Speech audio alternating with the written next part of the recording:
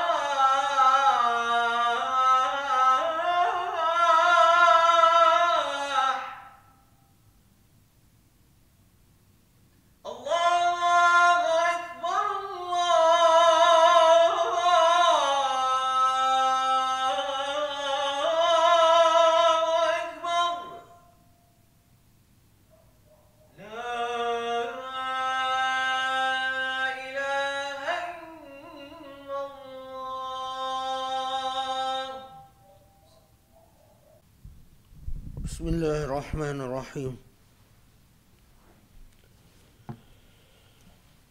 بسم الله الرحمن الرحيم. والحمد لله رب العالمين.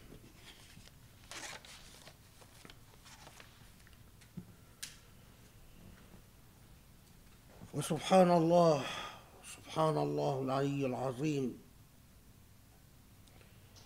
نشهد أن لا إله إلا الله وحده لا شريك له.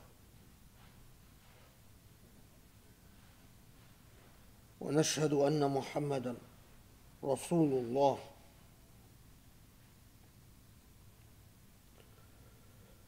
سبحانه العلي العظيم. سبحانه.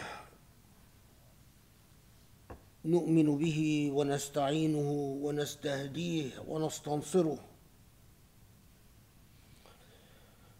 ونستجيره. فلا مجير غيره. فإنه حق من هدى الله فلا مضل له ومن يضلله فلا هادي له. ونصلي ونسلم ونبارك على الحبيب المصطفى خاتم الأنبياء والرسل أجمعين المرسل رحمة للعالمين. وعلى آله الميامين وعلى أصحابه المختارين وعلى من اتبعه بإحسان إلى يوم الدين.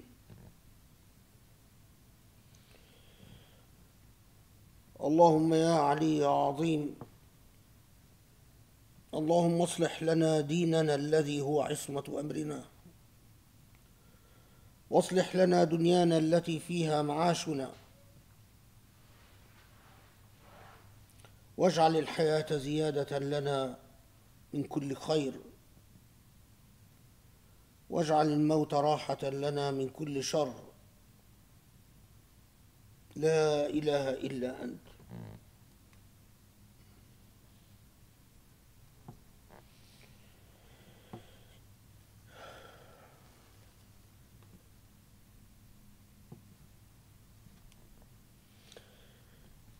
سبحان الله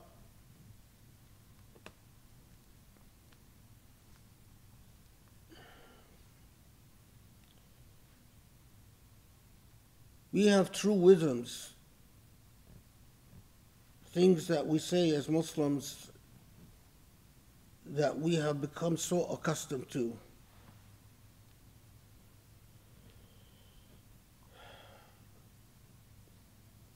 The problem with habituality, with becoming accustomed to things, with developing habits, habits of familiarity, is that human beings often become complacent in their habits. And with complacency, there is also often the loss of meaning.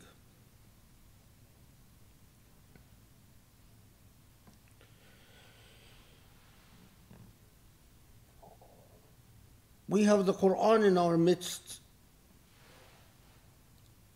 We as Muslims have the Quran in our midst.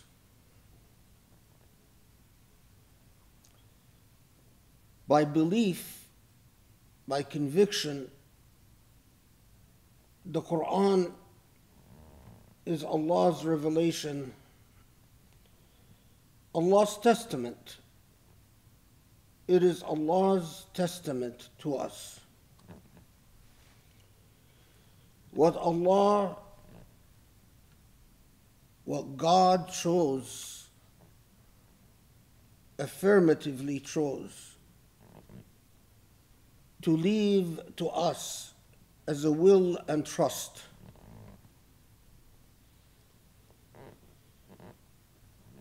We don't know Allah's will. We don't know Allah's intentionalities. We are not privy, if you will, to Allah's mind, figuratively, of course. We are not privy to Allah's plans.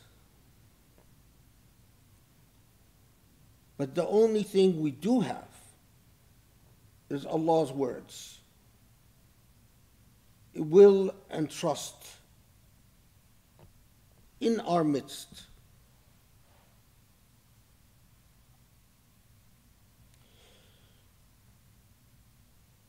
How did Allah's words become so ineffective amongst the people of the book? Muslims who are quintessentially the followers of that will and testament, of that book the repository of Allah's living words amongst us.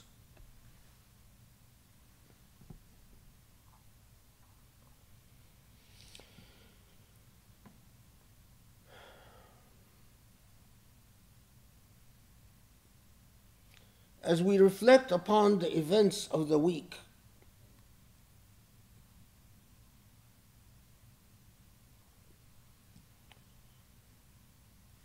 if one has even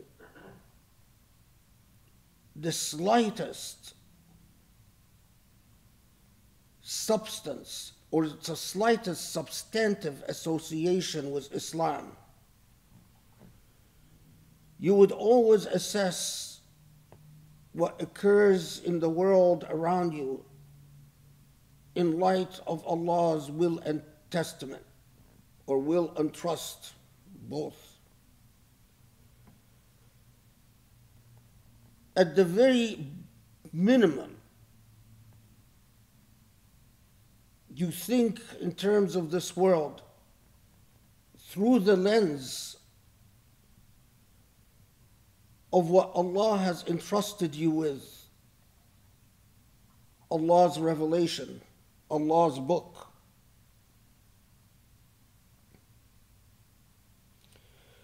Consider, for instance,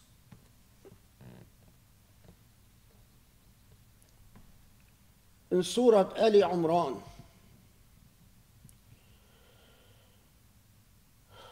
when Allah subhanahu wa ta'ala tells us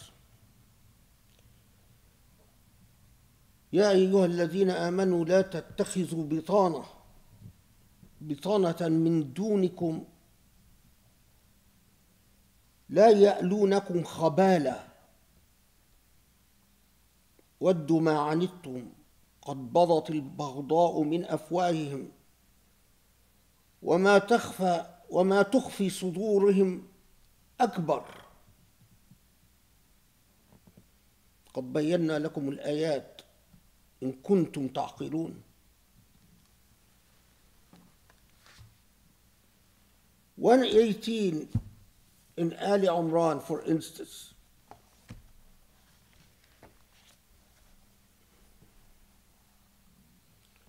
يا أيها الذين آمنوا you who believe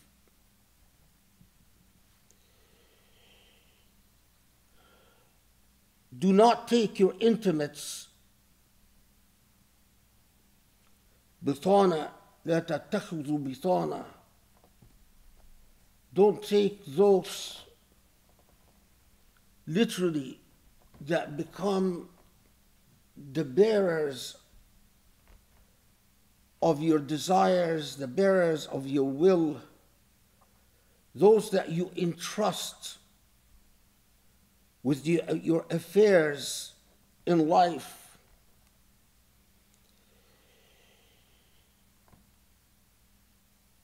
من دونكم من دونكم outsiders, but not outsiders in the sense aliens, but outsiders, people who are not online, people who do not share your value system, people who do not share your priorities in life, people who do not have the same understanding as to what this life is about or what it should be about. بطانة من دونكم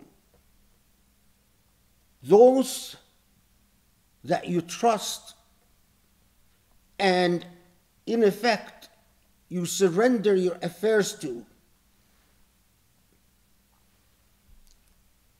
who don't share your commitments who don't share your relationship to your maker who don't share your fidelity to your book or supposed fidelity.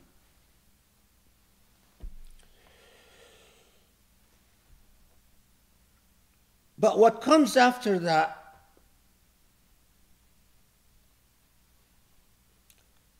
لا يألونكم خبالا ودوا ما عنتم.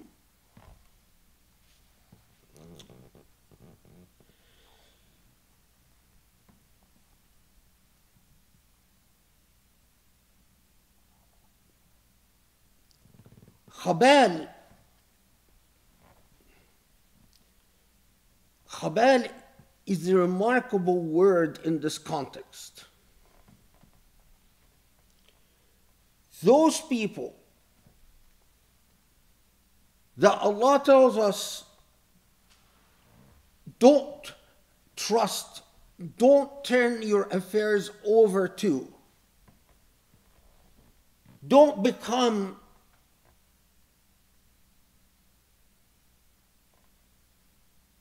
don't develop the type of relationship where they become or where they play, play a substantial role in who you are, what you do, how you think, how you make decisions. Because those folks who don't share your value system لا يألونكم خبالة literally it means that they those people deprecate you khabal is not just physical harm but it's lunacy, idiocy, loss of meaning and loss of purpose. Khabal is to think that you enjoy full your full intellectual faculties. But indeed, in reality, you're a dunce.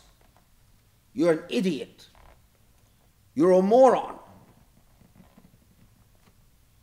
When you turn your affairs over to those people because you developed a relationship with them,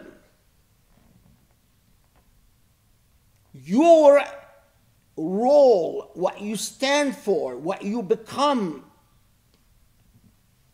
becomes something not just incoherent but idiotic, nonsensical, silly, stupid. لا يألونكم خبالا ودوا ما عنتم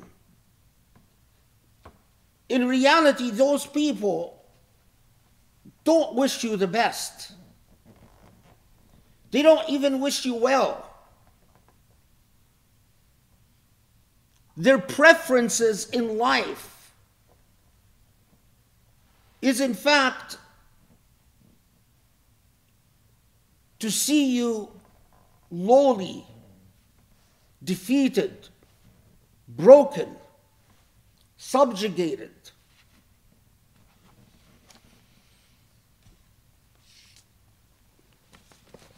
The role of the Quran in our lives in light of what transpires all around us in life. Okay, so this week,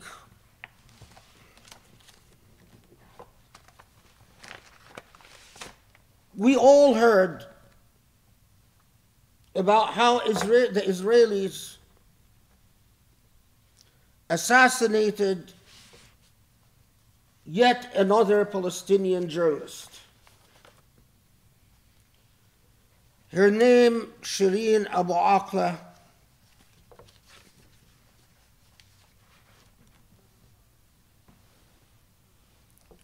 shot her in the head. Although she was clearly wearing the clothes indicating that she's press but they shot her in the head and killed her. Well, the reality is, the reality is, is that Shireen Abu Akleh is just one of 50, 50 Palestinian journalists killed by Israel since 2001. Every single killing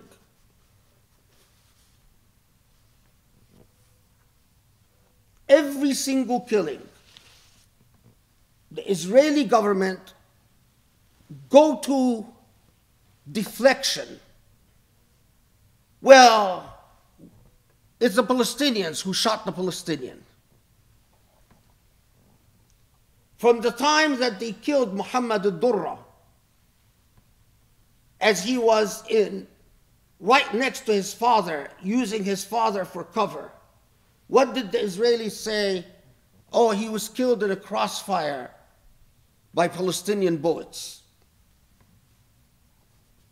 50 Palestinian journalists since 2001.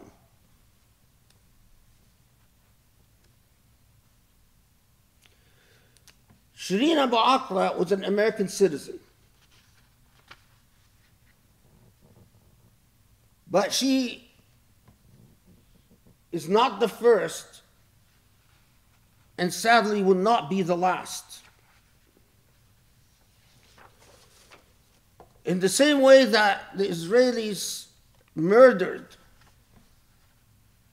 an American citizen, Palestinian journalist,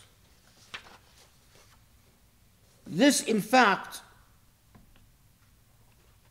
follows or in, is in keeps with a long record of violations against journalists and human rights activists.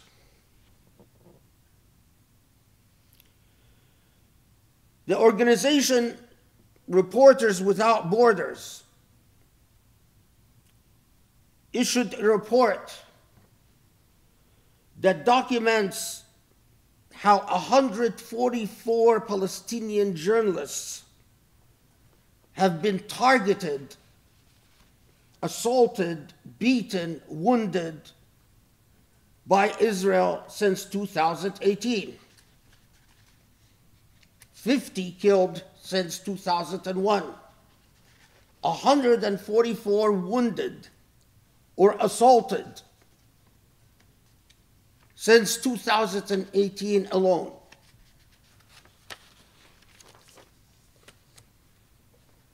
But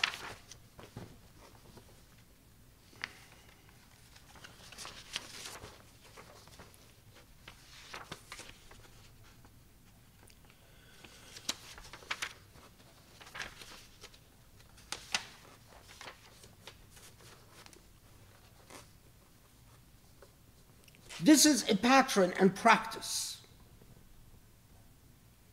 Rachel Corrie, the US citizen who was killed by Israel in 2003.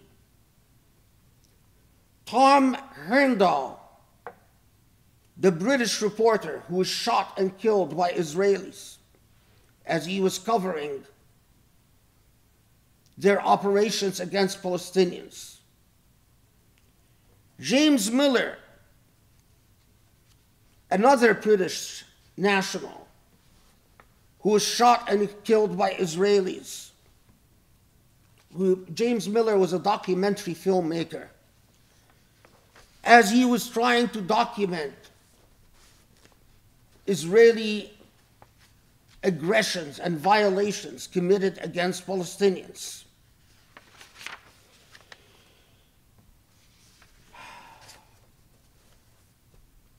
Iain Hook, who used to work for the UN, he actually was an employee of the United Nations and a British citizen. And he was shot dead by the Israelis as he witnessed Israeli crimes being committed against Palestinian refugees. Iain Hook worked for UNRWA the refugee agency in the United Nations that is concerned with Palestinian affairs.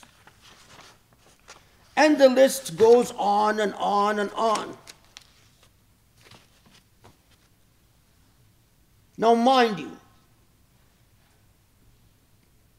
Saudi Arabia killed a journalist in a Saudi embassy in Turkey. Jamal Khashoggi.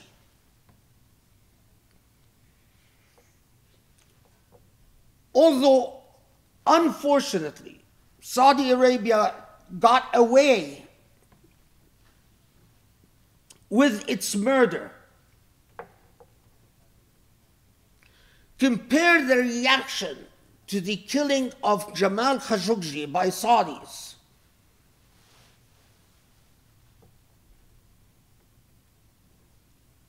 To the reaction of the world when Israel exterminates journalists, whether British, American, Palestinian, or what have you.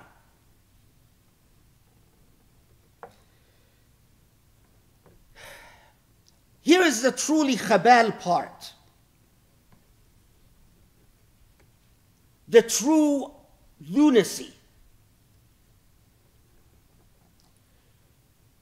When Saudi Arabia killed Jamal Khashoggi, who went to bat for the crown prince of Saudi Arabia? Who went on a crusade to make sure that MBS is not replaced, doesn't pay any consequences.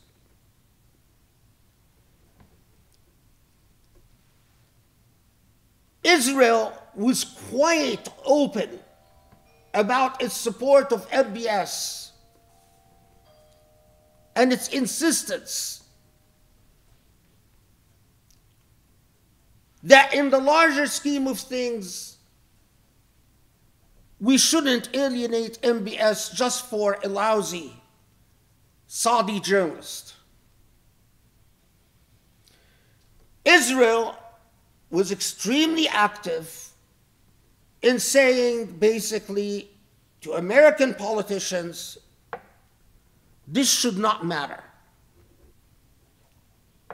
When a Muslim kills another Muslim, it shouldn't matter to us.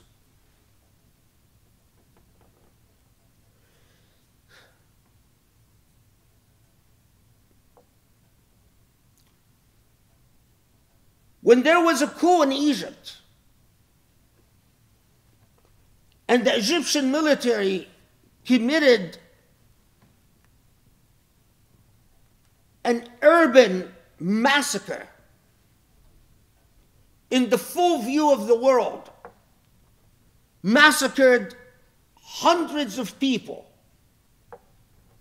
Who was lobbying European countries and the American government to quickly forgive the Egyptian military for its slaughter? Who was defending President Sisi of Egypt in the hallways of DC?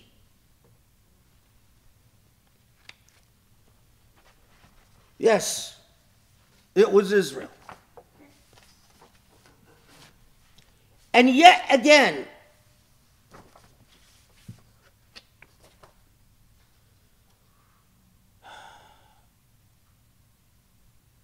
Eyal Hulata, Eyal Hulata, the well known right winger who is part of the Israeli national security apparatus makes rounds in the US and Europe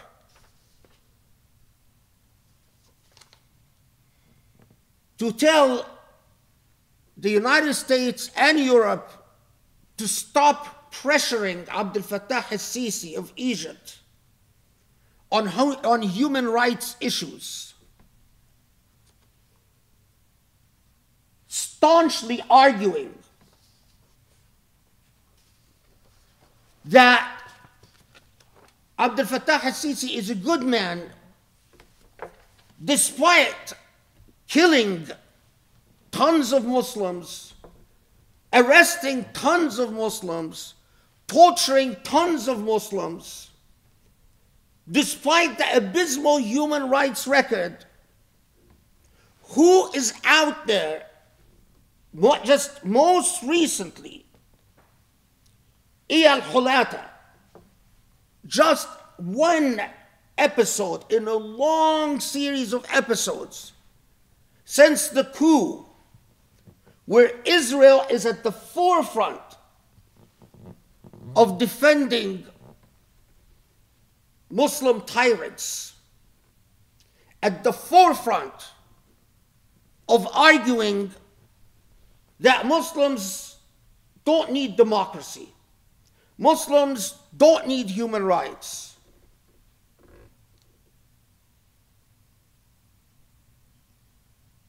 And that the West should embrace MBZ and MBS and Fasisi of Egypt should embrace them. Now here's the thing. Is it embrace them despite their genocidal psychopathy or because of their genocidal psychopathy? I submit to you that it is because.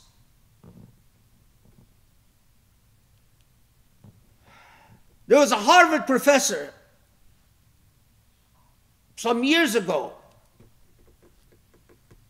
wrote a shameful article in the New Republic where he said Muslims' conception of life is so different from ours. The proof is how they kill and murder each other. And that is precisely why we shouldn't worry about Muslims having the same constitutional rights as other human beings or the same human rights as other human beings. How do you end up with that image? Well, because we have leaders like MBZ, MBS, and Sisi of Egypt who have absolutely no regards for human rights or particularly Muslim rights because they might respect a Christian or Jew, but not a Muslim.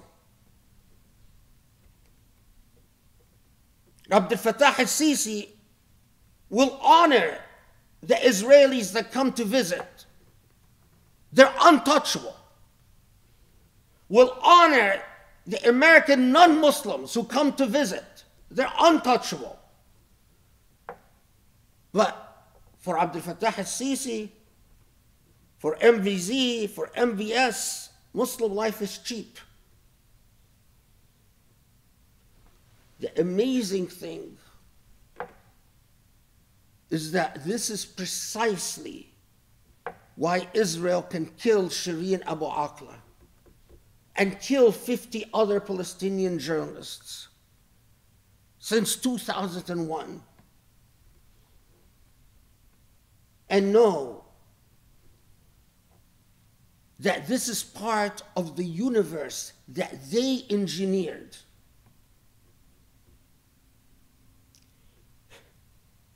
Because the Israelis can murder Khashoggi, because the Saudis can murder Khashoggi, excuse me, and there be no consequences. It is part of the world that they created. They can murder Shireen Abu Akleh and there be no consequences.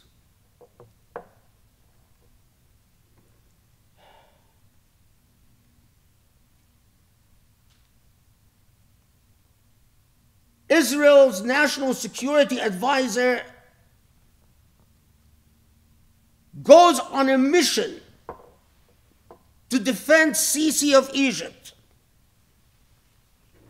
to insist that the West should stop harassing Sisi of Egypt about his human rights violations.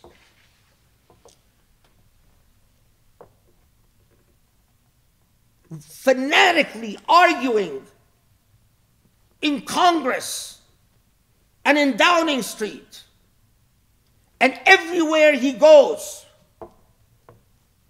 that Egyptians don't need democracy. Egyptians can't handle democracy. They need Sisi. They need someone who throws them in prison, tortures them, and murders them.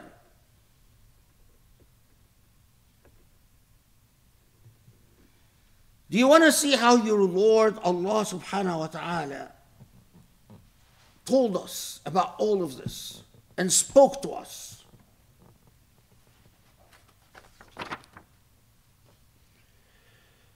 Saudis,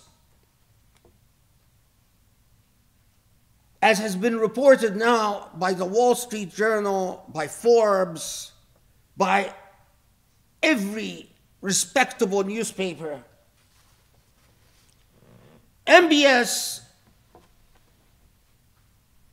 and the Saudi government has a very close relationship with Jared Kushner. A relationship that had made had earned Jared Kushner millions and millions of dollars. Just recently, Saudi Arabia gave Jared Kushner $5 billion to invest in his business. Jared Kushner asked Saudi Arabia if the majority of this money can be invested in Israel. At the time where people of conscience are advocating divestment from an apartheid state, Jared Kushner is using Saudi money to invest in Israel. And the Saudis gave the okay, the approval. Now, does it matter that Jared Kushner is married to Trump's daughter? And does it matter that Trump has rode the wings to the presidency on an Islamophobic Trump card? Does it matter that Trump has the infamy of instituting the first Muslim ban in the United States? Does it matter that Trump is in deeply in bed with all the big, big Islamophobes in the world? Does it matter that Jared Kushner is from the very school of thought that sees Muslims as lowly animals who should be happy with material things, but should not aspire to human values like democracy and human rights and civil rights and dignity. Does any of that matter? Obviously not. The Israelis can annex Al Quds. The Israelis can have the American embassy move the embassy from Tel Aviv to occupy territory in Al Quds.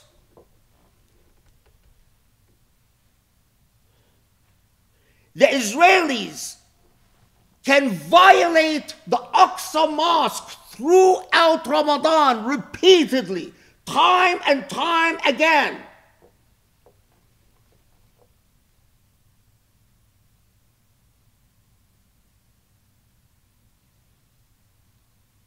What is their punishment? Their punishment is major financial investments from MBZ in the Emirat and financial investments from MBS in Saudi.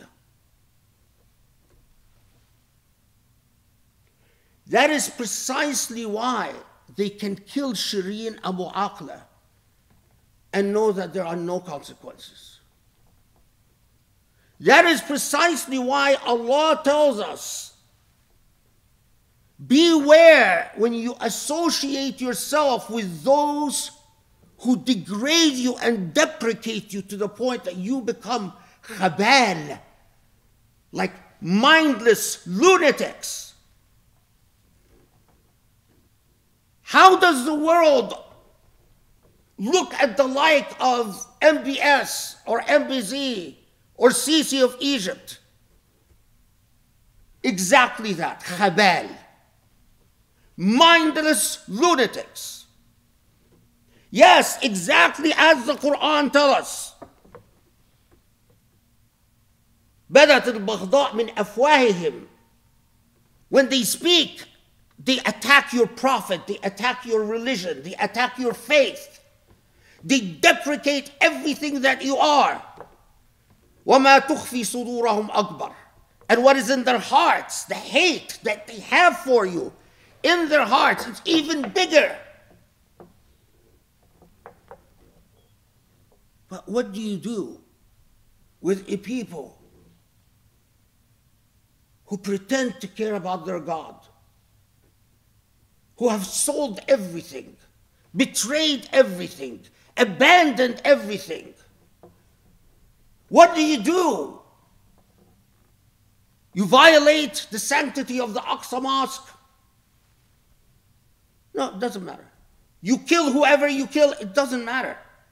You annex whatever you annex, it doesn't matter. You strike them, you spit on them, you insult them, and they keep coming back.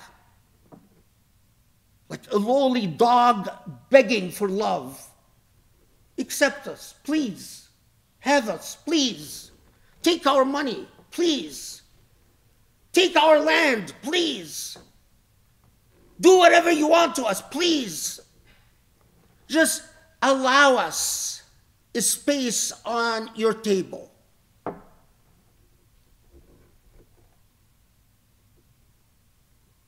يألونكم خبالة خبال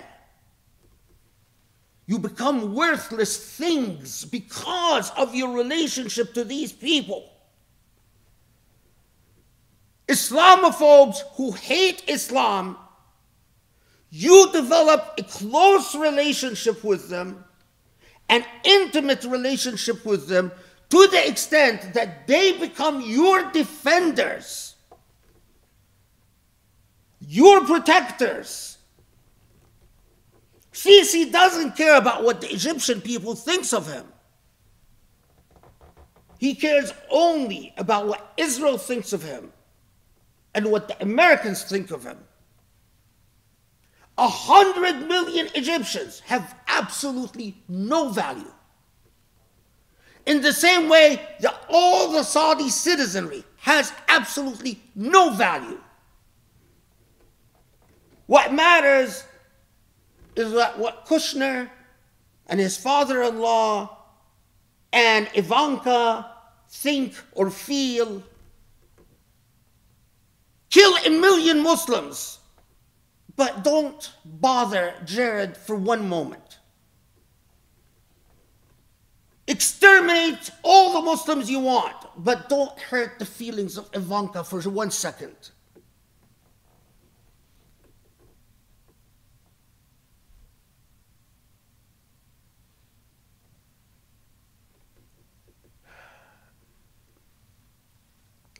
The disaster, the disaster is that this basic awareness is not common and present among Muslims. You still have plenty of Muslims who think Sisi is as an Egyptian problem. As I've said a million times, I was banned from the Islamic Center of Southern California because of Sisi. In their small brains and small intellects, their peanut sized intellects, they think Sisi is an Egyptian problem. They don't understand how Islamophobia works. They don't understand how the Quran works. How we are a single ummah. How when Muslims are devalued and made worthless in China and in Burma and in Saudi and in Egypt, I am made worthless. I, in turn, as a Muslim, living in America, working in a law school, in turn become worthless. They don't understand how khabal works.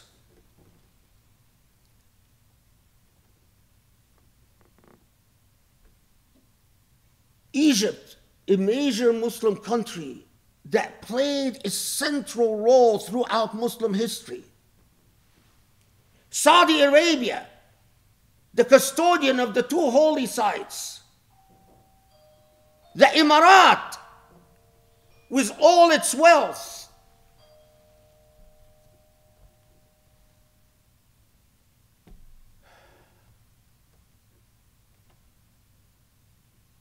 When the fate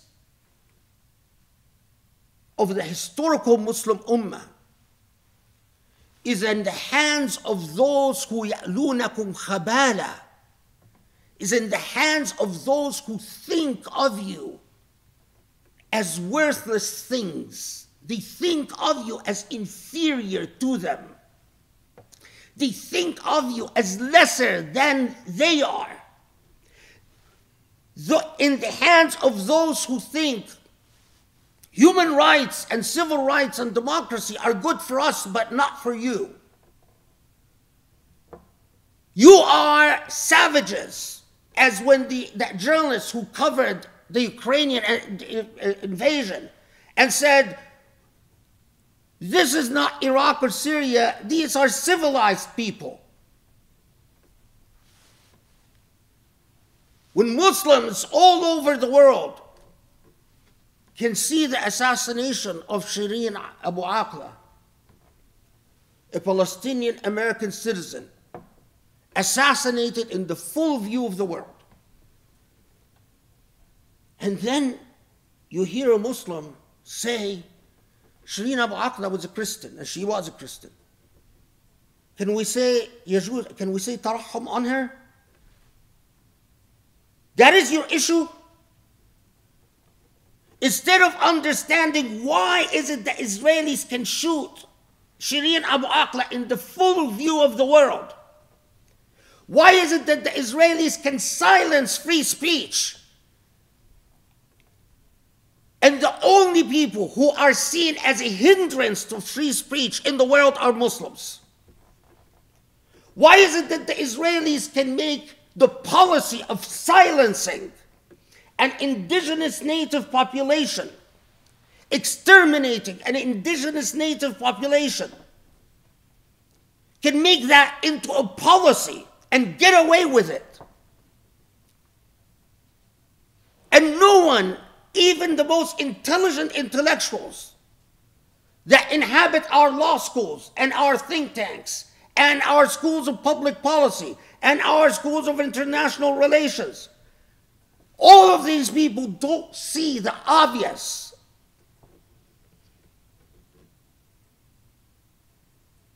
All what you say about Islam and freedom of speech, but you ignore the elephant in the room. How for decades the Israelis have perfected a policy of muting and silencing any voices. Why have they killed all these American citizens and all these British citizens? Why do they target journalists? Why do they target Shireen Abu Akleh? It's obvious. Because they want to send a message. this is a dangerous assignment. If you are going to report on the Palestinian conflict from an Israeli side embedded with Israeli forces, you're safe. If you are going to report representing the Israeli perspective, you're safe. But if you are going to be like Shireen Abu Akleh or any of these other journalists that I named, where you refuse to be embedded with Israeli forces and you say, I will go out there and be independent. I will report from whatever side I see as fair and professional, then that's a very dangerous assignment. And that is precisely why today very few journalists dare do what Shireen Abu Akleh did. This is precisely why most of the journalists, the vast majority of journalists who go to Palestine, are embedded with the Israeli forces. Because journalists have gotten the message very clear. You either report the Israeli perspective or you risk great danger to yourself. That is precisely why all the reporting from the New York Times, Washington, D.C., all the British papers, they're embedded with the Israeli forces, not independent, not embedded with, with Palestinians, embedded with Israelis. Shireen Abu Akleh had become a rare thing.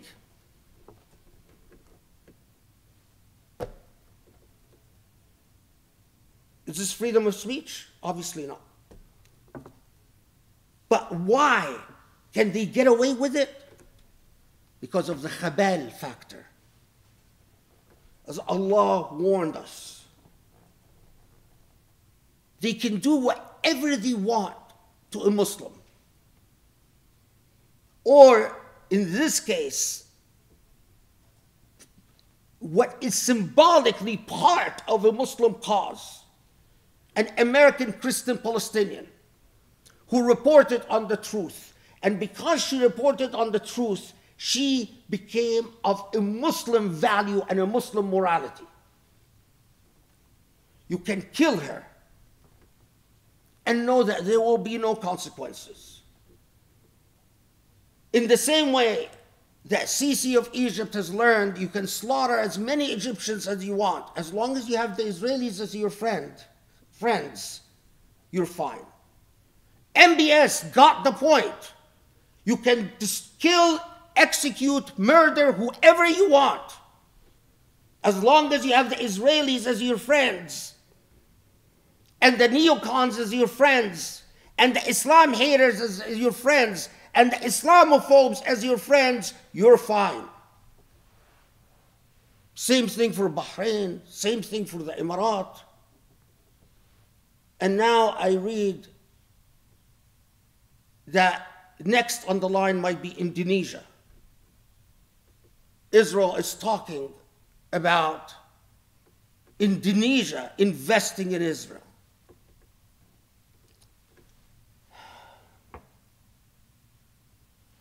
يألونكم خبالة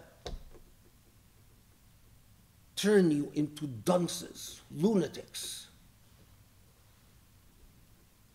entities that lack any dignity or any respect. أقول قولي هذا أستغفر الله لي ولكم أسأل الله يستجب لكم. بسم الله الرحمن الرحيم الحمد لله رب العالمين وسبحان الله العلي العظيم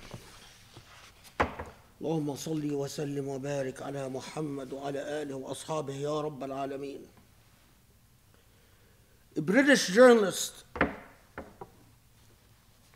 his name is Peter Oborn.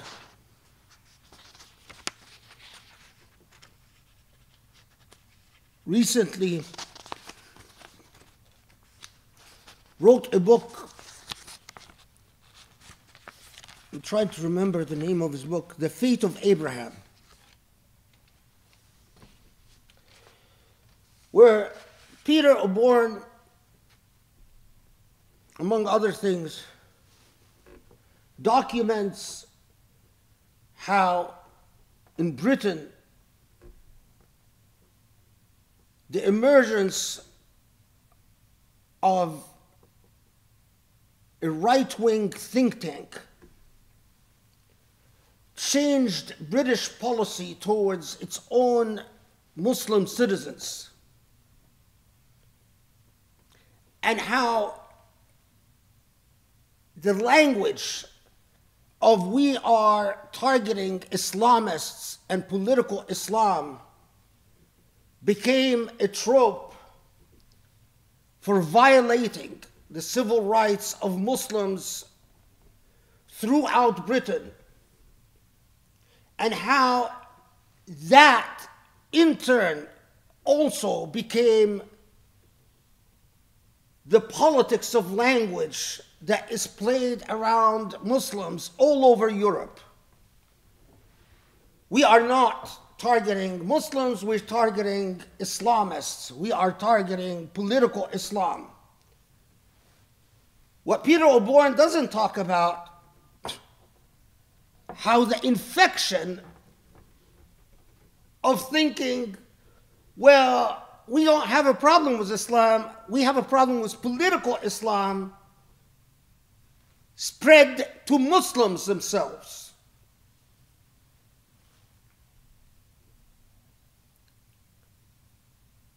What Peter Oborne doesn't realize, although I, I think his book is wonderful, but he doesn't realize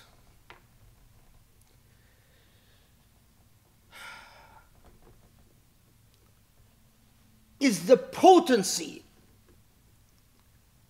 of a concept developed by ideologues, by ideologues, became intellectualized by Muslims so that they can kill their own faith. What he doesn't realize is how you can kill Khashoggi, and if anyone opens their mouth, you say that's political Islam. Don't criticize, that's political Islam. You can kill Shireen Abu Akleh. If any Muslim wants to object, say, uh, you can't, that's political Islam. You can invest billions of dollars in the apartheid state of Israel. And if you try to protest, that's political Islam. If you say, how can it be that people of conscience call for divestment from Israel? And you, Saudis, custodian of the two holy sites, are investing billions of dollars in Israel. That's political Islam. If you say, how can you, custodian of the two holy sites, have such an intimate, chummy relationships with the pioneers of Islamophobia in the world? That's political Islam. Shut up. It's political Islam.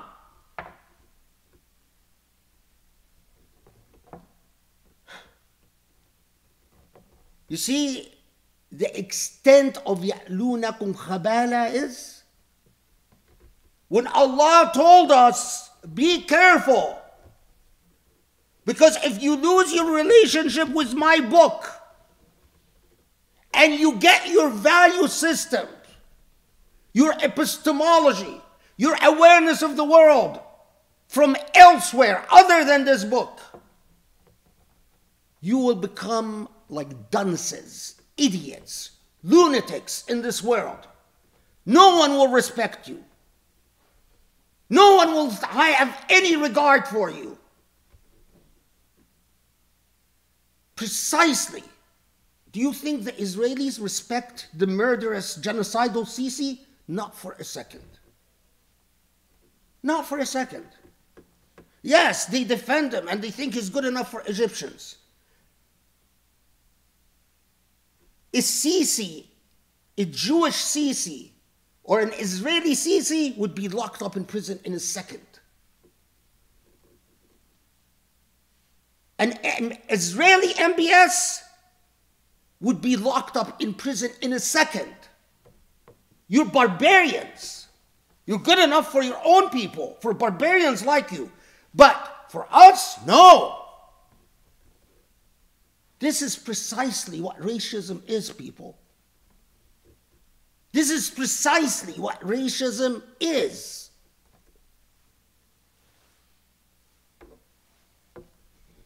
So you see, the murder of the Christian American Shireen Abu Akleh is an act of racism. It is part of the paradigm of Ya'lunakum Khabala we can spit on your holy sites. We can violate your holy sites throughout Ramadan, spit on them, degrade them, deprecate them, and murder your bearers of truth. And know that you are khabal, you're lunatics. You won't have the wherewithal to even coordinate an appropriate response. You're going to protest, you're going to promise that they, you want to take it to the International Criminal Court of Justice, then nothing will happen, and we will do an internal investigation and whitewash the whole matter, and nothing will happen. Why? And here is the final big point. Because we, the Islamophobes, the Zionists, are willing to sacrifice for our cause. You Muslims are willing to simply pontificate and talk about your causes. We raised $20 million to support pro Israeli Democrats in one night. In one night. While you will talk about whether saying Yarhamullah about Shireen Abu Akleh because she's Christian is halal or not. We will build societies that are very technologically advanced, that explore the issues of civil rights and human rights, etc., for us, for people like us. While you will be concerned about whether you can bury someone with wearing nail polish or not. Again, the words of Allah you are lunatics. We are rational people. We treat you like you deserve to be treated as lunatics. In other words, for barbarians. While we are the civilized people.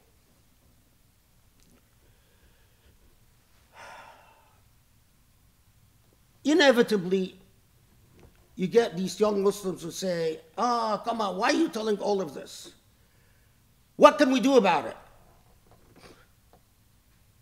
You see, this is part of how they made you a lunatic, khabal, a dunce. When you see no value in intellectual understanding, that is part of the paradigm of khabal. When you understand why Shireen Abu Akleh is a Muslim issue, an Islamic issue, when you understand why every Muslim this Jum'ah should be talking about the assassination of Shireen Abu Akleh, when you understand why every Muslim and every khutbah around the world should be talking about the assassination of Shireen Abu Akleh in connection with the continued Israeli violations against the Aqsa Mosque in connection with the $2 billion investment by MBS through Jared Kushner in Israel, in connection with the genocide against Muslims in China, in connection with the genocide against Muslims in Burma. And then you realize that we, as Muslims, finally might be emerging out of the khabal stage, out of the idiocy stage in our existence. But as long as after the fact it is a single Jum'ah. One Jum'ah. And I bet it is a handful of Jum'ahs around the world, and probably the only Jum'ah in the United States that will talk about the assassination of Shireen Abu Akleh in context, in relation to the Jared Kushner inve- investment of Saudi money in Israel, in relation to the violating of the sanctity of the Aqsa Mosque. That's precisely. We are the khabals of the world. We are the lunatics of the world. We are the dunces of the world. Because awareness is the first step towards the construction of a dignified identity. Without awareness, there are no further steps. قولوا قولي هذا واستغفر لي الله لي ولكم إني داع فأمنوا اللهم اغفر لنا اللهم ارحمنا يا علي عظيم اللهم تب علينا واهدنا لأقرب من هذا رشدا يا رحمن يا رحيم Allah forgive our sins. Allah grant us insight and knowledge and awareness. And bring us closer to you and closer to your book. Ya Ali Ya Azim, Ya Rahman Ya Rahim. وصلي وسلم وبارك على محمد وعلى آله وأصحابه وأقم الصلاة